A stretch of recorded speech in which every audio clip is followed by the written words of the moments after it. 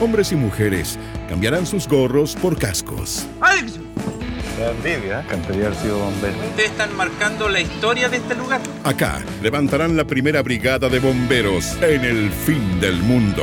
A cada árbol le quiero dar un abrazo, cuidarlo, protegerlo. Con garras, con corazón. Llanada Grande. Lo poco que vemos somos buenos para pelear, digo yo.